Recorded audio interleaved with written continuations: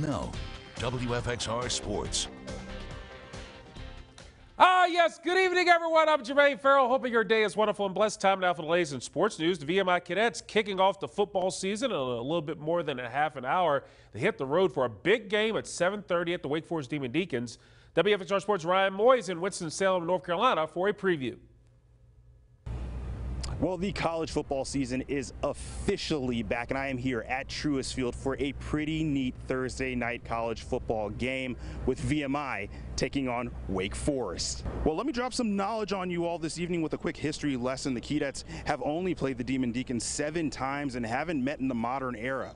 Now you'll need a flux capacitor and DeLorean for this bit of info, but the last time both of these teams met on the field was back in 1944 with Wake Forest taking the lead in the series. Last season, the Keydets finished the season 6 and 5 overall and 4 and 4 in SoCon play.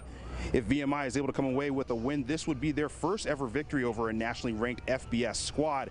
Plus, it would give VMI their first opening season road win since 2002.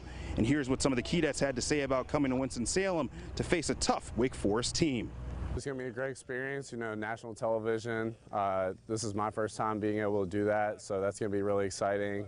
Um, and, you know, but we're treating it like any other week, you know. It's game week. We're going to prepare accordingly, and uh, we're going to go out and do our thing.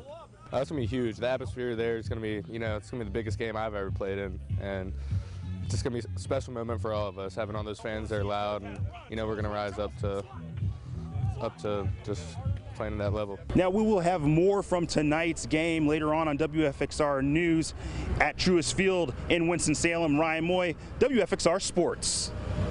Thank you so much, Ryan. We have two other local teams kicking off the season tonight. The Ferrum Panthers visiting Virginia Wise and Southern Virginia up in Buena Vista hosting Wilmington. Then we have Friday night blitz action on a Thursday night. We have Western Albemarle and Rockbridge County, Abingdon at Christiansburg, Galax at Giles, Eastern Montgomery at Rural Retreat. Those games kicking off in a few minutes at 7.